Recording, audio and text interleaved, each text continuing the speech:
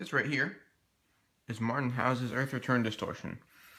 It's a distortion VCA thing, module, whatever, that is really neat. So, to demonstrate, I'm going to use my no coast sequence with a sequencer right over here inside the frame um, to show you what the thing can do. Uh, I found it's really good. It matches really well with my MS-20 here. That's out of the frame over there. Uh, that has because it really accentuates the filters. But in my Eurorack setup, I don't have any proper subtractive mode. I have the Telharmonic and the no coast. So um, I'm just going to show you with more upper harmonics, up additive stuff. So first I'm going to do a play of the dry, the dry signal.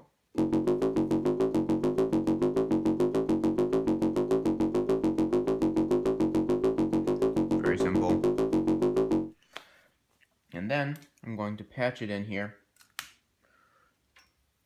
to the earth return distortion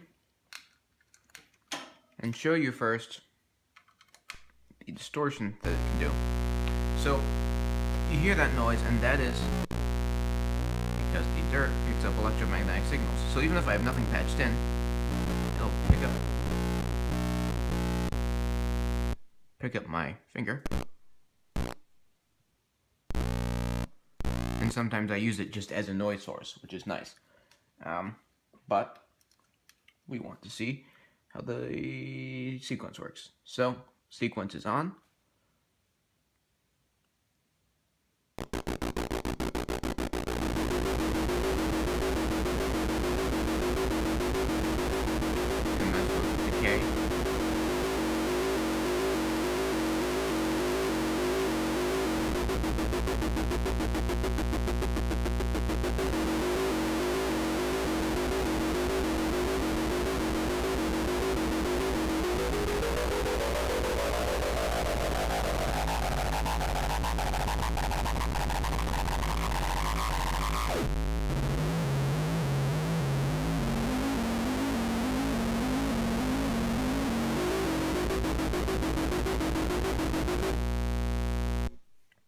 So that's really neat on its own.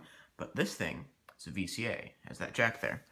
So let's turn this, uh, let's patch in something here to where the, now if I patch this in, it's always going to be on.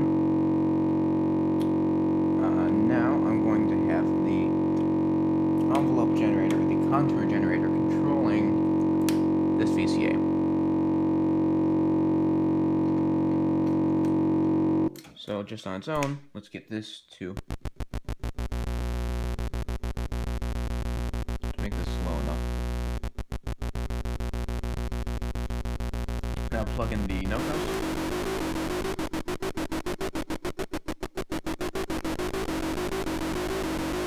It isn't as responsive as you'd like it, but it's still pretty neat.